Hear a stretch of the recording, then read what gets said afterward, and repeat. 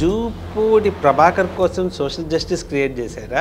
అసలు social justice అన్న ఒక సంస్థ తీసుకొస్తే దాన్ని జూపూడికి ఇవ్వాలన్న ఆలోచన వచ్చిందా? సోషల్ జస్టిస్ అనే పదంతో ఎలాంటి పదవులు లేవు. కొత్తగా ఉంది కూడా జనాలకి. ఉంది కూడా.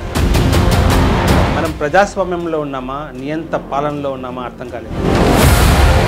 ఒక వాయిస్ నాయకుడు ఇస్తే ఇది ప్రజాస్వామ్యాన్ని గొంతు నొక్కటమే అంటే మేము ఏమన్నా ఈవీఎంలు పెడుతున్నామా మిగతా వాళ్ళకి?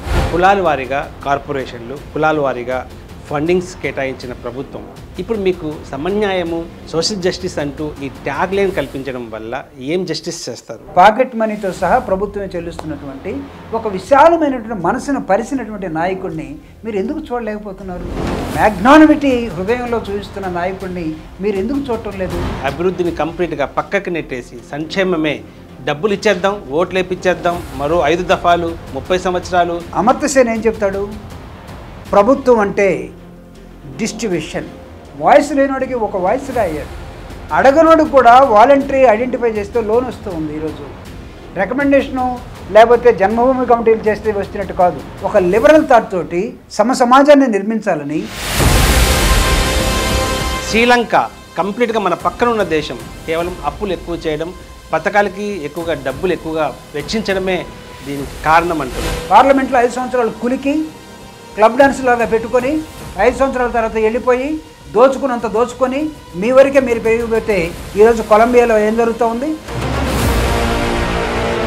ప్రతిపక్ష దాడికి జగన్మోహన్ రెడ్డి భయభ్రాంతులకు గురయ్యి కేంద్రంతో లాలుచిపడి రాజకీయాలు చేస్తున్నాడు. మెత్తబడ్డింది సింహం అంటున్నారు. పులిలాగా ఉండే జగన్మోహన్ రెడ్డి గారు పిల్లిలాగా అయిపోయాడని ఏం చేయగలరు జగన్మోహన్ రెడ్డి గారిని?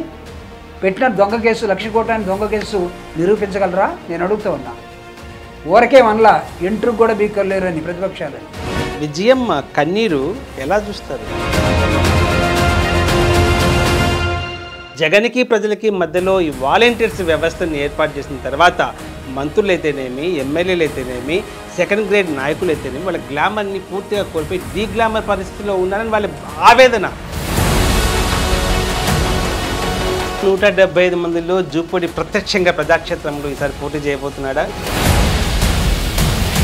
కోనసీమలో మంత్రి గారి ఇల్లు తగలబెట్టడం అయితేనేమి అంబేద్కర్ పేరు పైన పెద్దగా రచ్చ.